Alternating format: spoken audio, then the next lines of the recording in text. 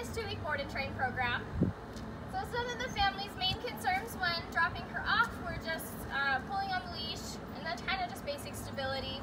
They just really want to work on all her basic commands, um, and her recall, and just make sure she's an all-around, just really well-trained dog. So she's super, super sweet.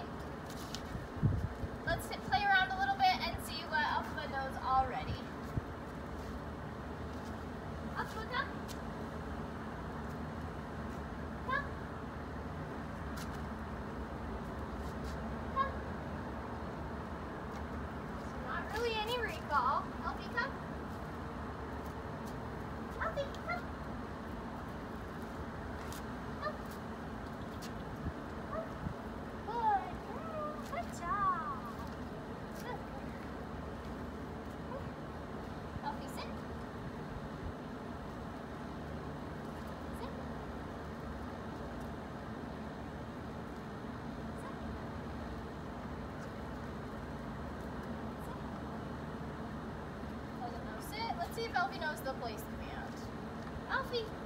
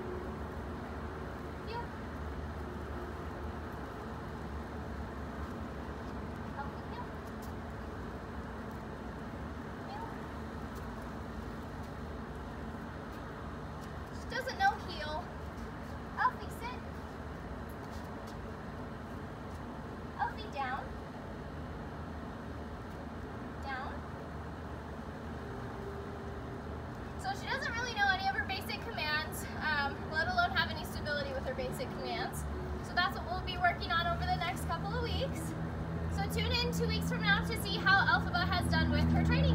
Elphie,